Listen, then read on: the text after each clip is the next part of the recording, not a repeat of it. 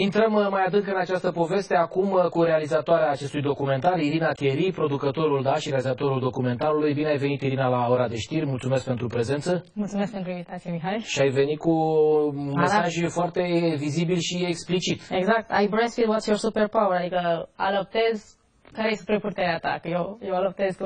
Da, da, înțeles. ne povesteai înainte de, de intrarea în emisie că a trecut un episod care e chiar interesant pentru că până la urmă despre asta vorbim și noi aici. Te-au oprit niște polițiști, da?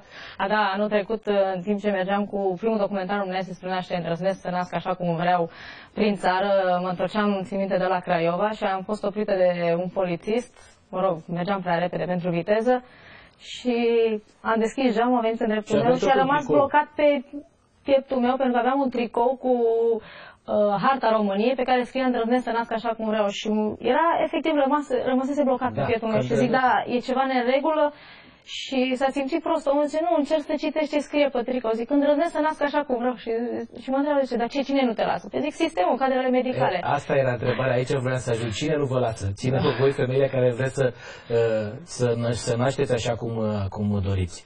Da, nu, ne, nu suntem descurajate. Suntem nu suntem un, da, și, deci, și întreb pentru că am văzut și eu pe Facebook, am dat uh, în promovarea acestui material uh, și pe Facebook-ul Orei de Știri, pe Orei de Știri și a Știrilor TVR, uh, Cineva spunea, de exemplu, Mihail Adicu s-a semnat. La spitalul de stat în care am născut eu nu a promovat nimeni laptele praf. Din contră, personalul medical m-a învățat cum să alăptez și m-a încurajat. Deci, sunt cazuri izolate sau vorbim de un fenomen? Ce reiese din cercetarea voastră? Nu, eu cel puțin, din cercetarea mea, am filmat în foarte multe maternități, vreo șase în București, în capitală, și vreo două, trei prin, uh, prin provincie, în țară. Uh, și absolut în toate maternitățile, chit că am, am stat de vorbă cu cadre medicale care promovau alăptarea, vedeam insignele producătorilor de lapte praf chiar la ei în birouri. Fie că era pe perete un ceas frumos cu sigla, fie că era uh, deci ceas de perete, fie că era vorba de un uh, calendar, fie că era vorba de rețetar, erau și, a, și asta ce înseamnă? De, este automat, de... Da, pentru că automat este ok. Deci dacă nu poți să alăptezi, ți se, cum îi spune, induce, po- induce da, ideea că băi, poți să apelezi imediat la lapte praf. Și, problema și ce așa rău până la urmă? Pen, pentru că, până la urmă, alăptarea salvează vieți. Alăptarea te, bă, dacă am avea o rată, de exemplu, OMS recomandă o țară, o rată a alăptării pe țară nu mai mică de 95%. La noi, în România, este vorba de 12,6% o rată a bebelușilor alăptate exclusiv. Deci până la 6. Enormă. Dar sunt țări unde se respectă rata asta 95% alăptare sunt, naturală? Sunt, sunt, sunt, da? sunt. Da, în țările nordice sunt, exact. Dar, uh, cum îi spune, uh, ce mai grav este că la ieșirea din maternitate, rata alăptării a bebelușului alăptat exclusiv este undeva până în 5%. În condițiile în care un, uh, se știe că un procent de 2-3% al femeilor nu pot să alăpteze. Și atunci, de ce? Totuși, la noi în țară este o rată deci, atât de mică. Deci admite faptul că sunt și femei care nu pot să alăpteze, dar doar 2-3%. Exact, 2-3% al femeilor care nu pot să alăpteze. Fie că suferă de o boală care necesită tratament chimic și atunci e de preferat să nu alăpteze ca să nu da. transfere prin laptele matern bebelușului toate chimicale, fie bebelușii născut prematur și Corect, mult dar de unde ați luat cifrele astea? Mă, mă refer la echipa voastră. Uh, UNICEF, uh, OMS, uh, Ministerul Sănătății, dacă se întâmplă să mai... Și la procentul să adăugăm și pe cel al femeilor care nu vor să, poate Am... nu vor să alăpteze natural, nu știu, din motive și... de estetică a conservării gustului. Estetică. Nu există, pentru că sânii nu se modifică, nu, nu alăptarea modifică sânii. Sânii se modifică în timpul sarcinii. Deci la un moment dat ce? uh, ajungi să naști, treci prin sarcină, naști, sânii deja s-au modificat la momentul nașterii. Uh-huh. Ceea ce nu se spune mămicilor este că uh, nu ai, uh, cum îi spune, foarte mult la, în timpul în maternitate, la imediat pe naștere, ți se spune că, băi, nu ai lapte sau laptele tău nu e bun. Dar nu ți se spune absolut deloc faptul că uh, uh, femeie, ai încredere în corpul tău, pentru că lactația, practic, se formează încă din săptămâna 17-18 de sarcină. Deci, orice femeie, indiferent de tipul nașterii, că naște prin cezarian, că naști natural, că naști vaginal, da. că și acolo e o diferență între nașterea naturală și cea vaginală și foarte puține mame știu, uh, poți să alăptezi. Deci și inclusiv în cazul unei cezariene Exact. nu, e, nu e problemă. Dar la noi, da, exact, haideți să fim mai problema- da. riguroși, să, eu te-aș invita în continuare Sigur, să da. nu generalizăm, să spunem că sunt și cazuri în care li se spune că pot uh, apela Sunt, la... sunt, da. uh, nu sunt, la, sunt convinsă că sunt și sper să fie tot mai mult. la Dar eu, încă, alăptare. eu Pentru că am persoană. văzut și mesajul acesta, probabil că mai sunt, uh, nu cred că e generalizat, nu știu dacă e un fenomen. Bun, e un semnal de alarmă, haideți să vedem ce nu se respectă din punctul de vedere al legislației. La telefon avem acum uh, pe Diana Mateescu, reprezentant IPFAN România, Organizația Mondială, înțeleg, care promovează alăptarea naturală. Bună seara, monitorizați respectarea legislației și în materie și în România. Avem noi un cod, înțeleg că este un cod internațional, există și un cod în România în momentul de față și cum se respectă el sau nu există? Bună seara și bine v-am găsit. Bună seara! Um, codul internațional de marketing este un cod semnat la nivel internațional de către foarte multe țări, printre care și România prin 83. Deci de atunci România s-a angajat să uh, respecte acest cod de marketing. Ce spune asta în linii mari, în câteva cuvinte? În foarte mare, da? Se bazează pe două lucruri.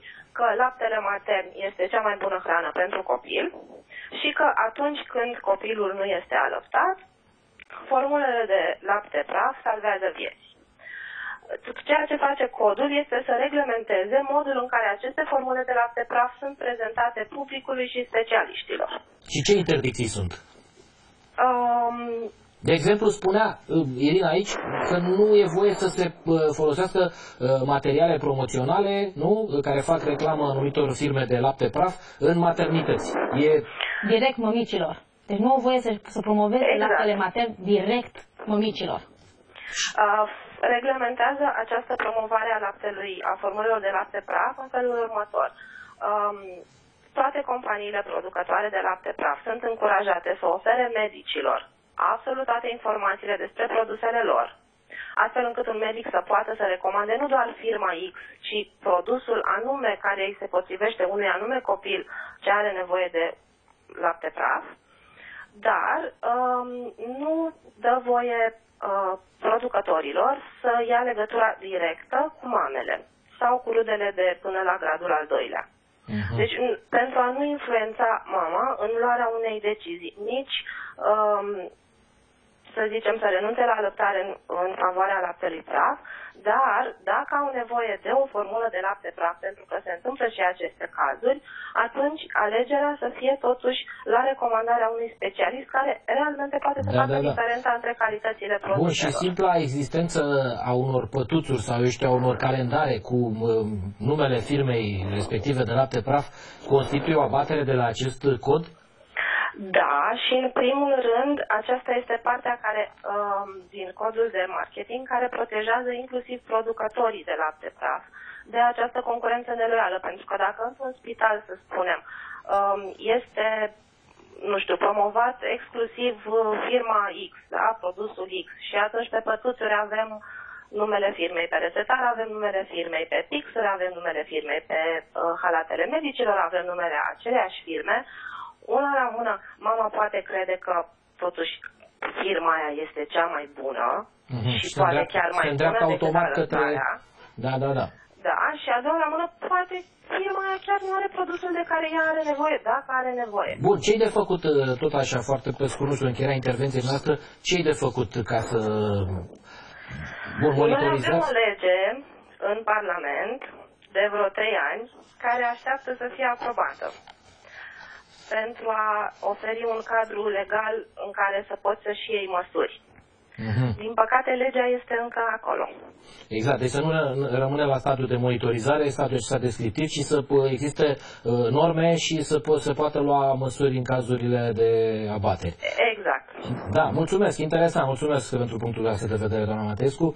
Irina, uh, concluzie, ce, ce putem face pentru îmbunătățirea acestei situații? Cred că suntem departe de procentul acela uh, normal într-o țară civilizată prin de, de alăptare, de hrănire naturală a sugarului. Da, cred că ar fi vorba de o acțiune la pe două planuri. Unul în spitale, de sensibilizare a cadrelor medicale, să nu mai existe acest program de alăptare din 3 în 3 ore, uh, pentru că, până la urmă, uh, alăptarea este un drept fundamental al copilului bebelușului, care este violat prin acest program de alăptare. Pentru că mamele sunt separate, în primul rând sunt separate, bebelușii sunt separați de mamele lor pe toată perioada maternității, în foarte multe spitale, nu în toate, nu vreau să generalizez, dar în foarte multe spitale, uh, și uh, se, se impune un program de alăptare din 3 în 3 ore. Ori copilul, bebelușul trebuie alăptat la cerere și ținut lângă mamă Uh-huh. Rooming in, da, există și programul acesta făcut de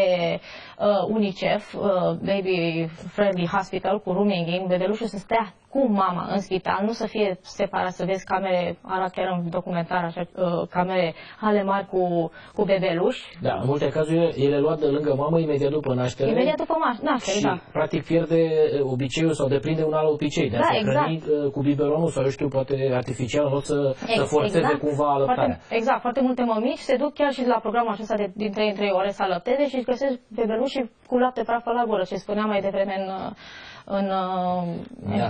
Și asta nu e normal. Doi, uh, femeia, bebelușul nu mai beneficiază de ora magică. Foarte puține mămici știu de ora magică. Imediat după naștere, indiferent că naști în cezariană sau natural sau vaginal, bebelușul trebuie pus imediat la pieptul mamei. Am în film arăt, uh, uh, da. povestește o mămică, spune că a născut în cezariană și la al doilea copil născând în străinătate, prin cezariană fie, uh, chiar, a fost, i-a fost pus bebelușul la piept și medicii în timp, i-a alăptat în timp ce medicii terminau, uh, da, finalizau operația. În primul caz, ce, că zicea că are... Bineînțeles că a născut în România și nu s-a da, da. întâmplat și n-a beneficiat de ora magică și, și toată trauma, laptele toată... matern decât laptele praf, asta nu e o discuție, asta nu e niciun dubiu. Uh, laptele la sân decât laptele praf nu e niciun dubiu. Da. Deci laptele matern este un lapte um, cum să spun, personalizat. Se adaptează nevoilor nutriționale ale bebelușului. Pe când laptele praf este o formulă standard, indiferent de nevoile bebelușului, cu toate proclamațiile de pe cutia laptelui praf că conține mai mult fier sau mai știu eu ce. Este, se aplică tuturor bebelușilor. Bebelu, unii bebeluși la poate nu au nevoie de atâta fier sau mai știu eu ce. Deci de asta spun, laptele praf, ă, laptele matern se da. adaptează și este mult mai bun. Mulțumesc, mulțumesc pentru ora de știri și mulțumesc pentru acest semnal, cum spuneam, de alarmă. Mulțumesc.